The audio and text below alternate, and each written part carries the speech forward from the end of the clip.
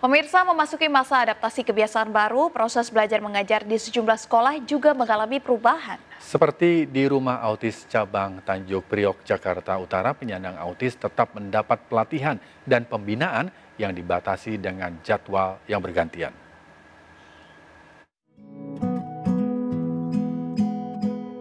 MNC Peduli kembali menunjukkan konsistensinya dalam membantu sesama.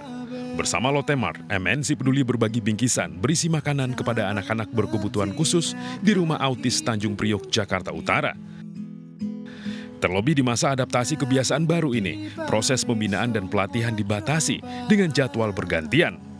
Melihat kondisi ini, MNC Peduli dan Lotemart juga mengantarkan bingkisan ke rumah anak asuh rumah autis.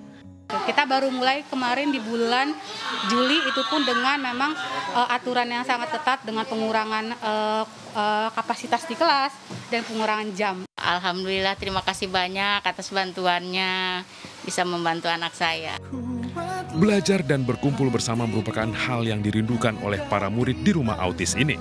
Untuk itu MNC Peduli dan Lotemark tergerak memberi bantuan untuk menghibur anak-anak berkebutuhan khusus ini. Ya tentunya ini kan uh, satu gambaran dari kerjasama di antara uh, bukan hanya MNC Peduli dan Lotemart tapi juga orang-orang yang berbelanja di Lotemart. Uh, jadi banyak yang jadi stakeholder di sini gitu dan yang ikut serta untuk berdonasi. Kita harus bahu membahu menjadi satu. Jadi kita bisa apa ya kita coba bantu semampu dan semaksimal kami. Kalau semua orang punya pikiran seperti ini, saya rasa Indonesia akan cepat pulih. Mari bersama MNC Peduli kita membantu mewujudkan kebutuhan masyarakat yang terdampak dan tetap menerapkan protokol kesehatan agar Indonesia segera terbebas dari wabah corona. Tim Liputan iNews melaporkan.